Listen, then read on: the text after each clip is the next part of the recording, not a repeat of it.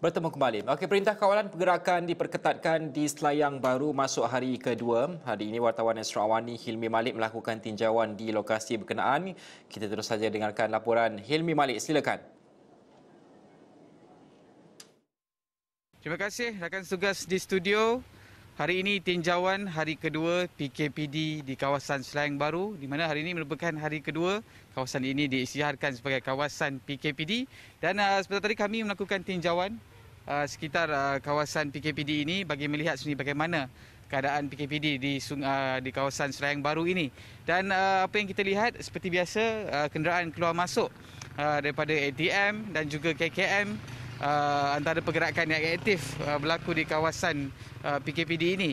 Namun berdasarkan tinjauan daripada orang ramai juga kelihatan uh, tiada pergerakan yang agresif uh, daripada kalangan uh, penduduk sendiri.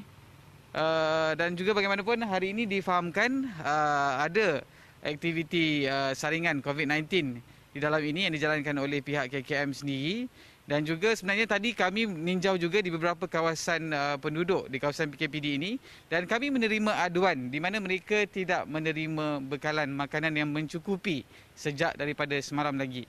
Dan uh, kita tidak pasti adakah uh, bekalan makanan ini masih tidak sampai ataupun belum disalurkan kepada uh, kelompok-kelompok tertentu ini.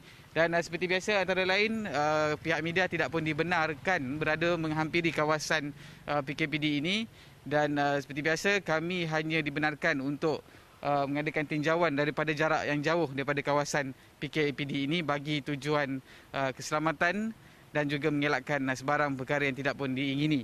Dan hanya dibenarkan uh, daripada anggota ATM dan juga petugas-petugas kesihatan yang berada di kawasan PKPD ini.